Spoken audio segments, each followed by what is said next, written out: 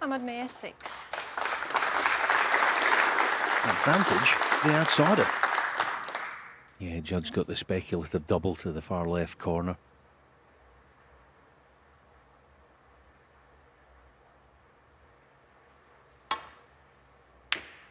Oh, he's got the wrong side of it. Big, big chance now for Hammad Miah.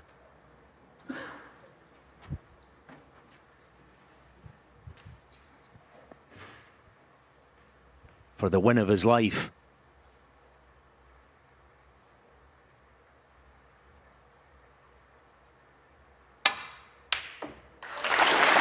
He's so good from distance. We thought that one might find the pockets, even though.